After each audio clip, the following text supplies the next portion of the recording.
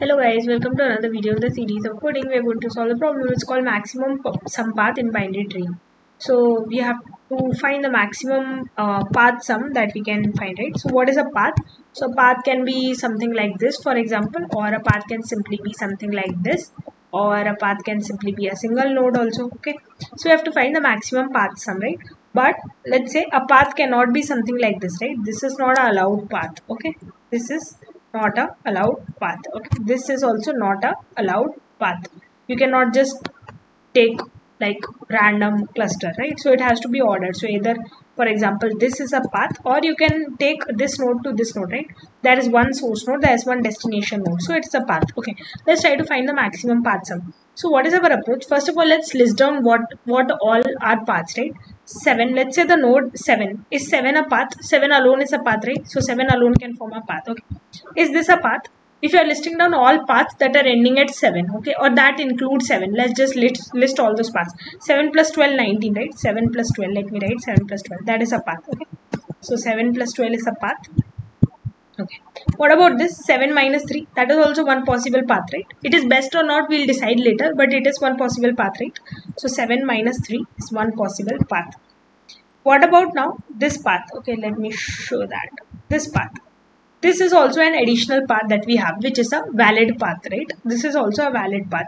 You cannot take it forward for example this is not valid path but this path is valid right? So if you have to include 7 you will have to just end it at 7 okay? If you have to take both the left and right you can take it but you will have to end it at 7 so this is also valid path. 7 plus 12 minus 3 that's it. We have just four paths right? So these are valid paths. So what we are going to do? We are going to take any node include only the node okay? Include node plus the left value. Include node plus the right value or include the node plus left plus right value. That's what we are going to do right? So that will form us all possible paths okay let's quickly see what are we going to do.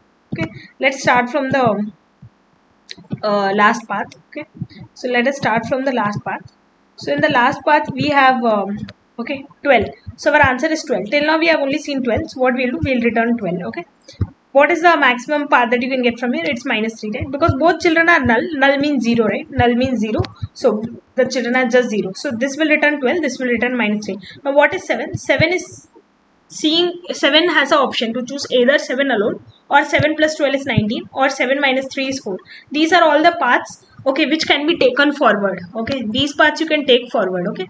So for example you can include this path and you can go forward like this. This is a valid path okay but there's also one path which you cannot take forward. For example you cannot take you cannot include both the elements from the left and right and take it forward. If if you are including both the elements it has to end at 7 so there is one path which is just ending at 7 what is that? 7 plus 12 minus 3 19 minus 3 16 okay? Which is the maximum among these. So now for example maximum is 19 so we will store answer. Answer is 19 as of now answer is 19 now let us go forward. What will 7 return? 7 will return 19 because maximum path it is getting is 19 okay?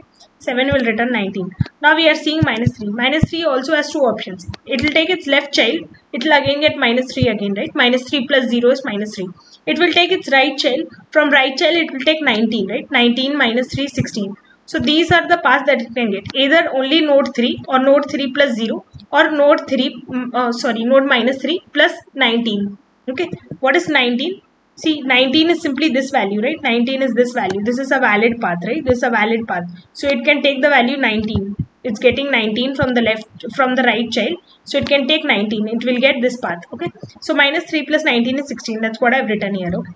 So these are the values. Now there is one more uh, case it can take right? It can take whatever value it's getting from the left child okay this is also a valid path right? It can take the value from left child and right child but the no but then it has to end at minus 3 because you cannot take that forward. So there's one more. You can get minus 3 plus 19 again in this case it will be 16 19 plus 0 plus minus 3 it will be 16 so maximum of all these is 16 but 16 is not greater than answer so we'll let answer remain as such now let's quickly go forward now let's try to do it quickly. Now we have one right? So what is one getting? One is going to get okay one is going to get um, 16 from the left child okay?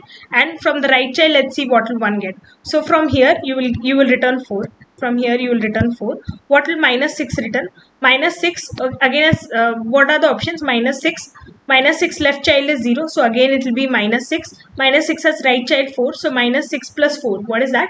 That is minus 2 okay these are the paths. Or it can take a path that will end at minus 6 so it will be minus 6 plus 0 plus 4 simply node plus left plus right. So what is this? This is again equal to minus 2 maximum among these is for example minus 2 okay? So what we are going to do? In this case it will return minus 2 will return minus 2 so this will return minus 2 now we have um, node 5 okay. From the left child it will get 8 from the right child it will get minus 2 okay.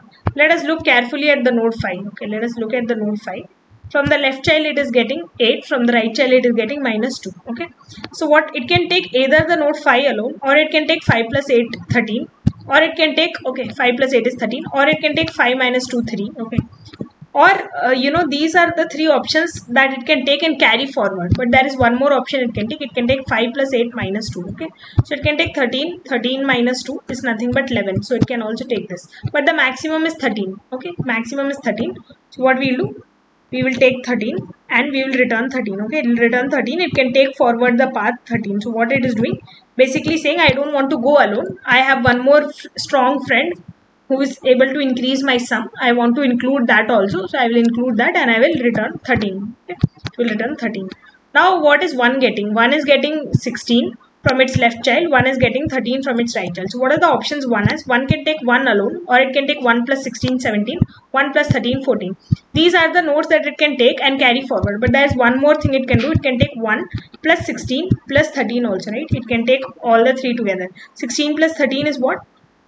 16 plus 13 is what uh, 29 right? 29 plus 1 is 30 so it can take 30 answer will be 30 so basically your answer is going to be 30 in this case. You can take which node you can take 16 and 13 so you can take the answer from the uh, right child also and you can take the answer from the left child also. So basically this entire path will get connected and you will finally get this as a path. This is the source this is the destination or you can consider the other way.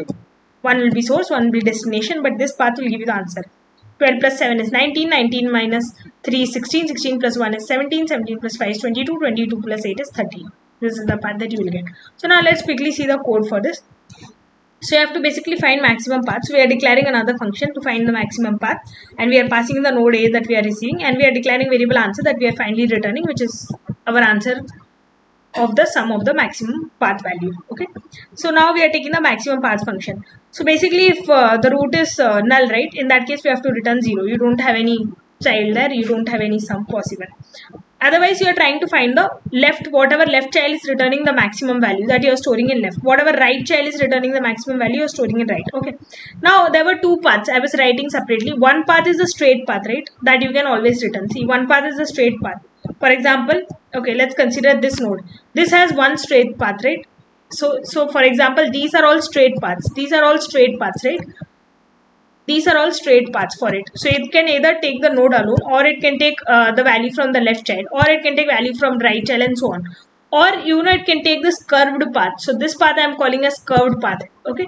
So there are two paths that we are taking straight path and curved path. So what is the straight path?